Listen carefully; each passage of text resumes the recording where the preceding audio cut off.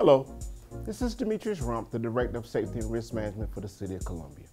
This is your monthly safety message for the City of Columbia employees and the public.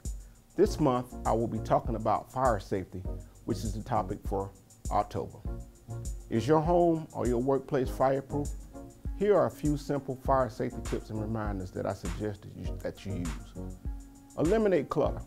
Good housekeeping is necessary.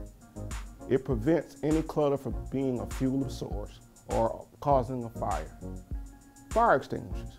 Make sure you have the appropriate type of fire extinguisher and the number of fire extinguishers and that their annual checks are conducted and monthly inspections are conducted to make sure those fire extinguishers are operating and functioning properly. Chemical safety.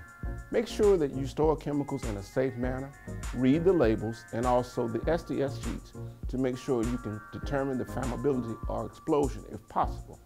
Also, make sure when you're storing chemicals that you have proper ventilation in the storage areas. Exit signs.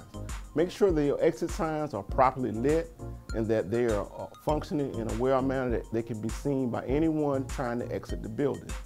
Also, the means of egress, meaning exit the building, are eliminated from debris or clutter, just in case if someone have to exit the building. And last but not least, make sure in any emergency situation that you have good emergency contact information, such as phone numbers, addresses, and also emergency contact personnel. Just in the event of emergency, those individuals need to be contacted.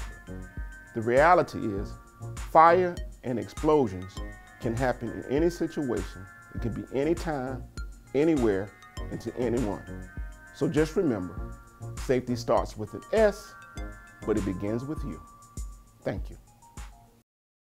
Hey there, Mayor Steve Benjamin here. Thanks for watching this video. Make sure you give it a like right below the video, and don't forget to subscribe. Also, while you're here, be sure to check out one of our other videos or follow on our social media platforms.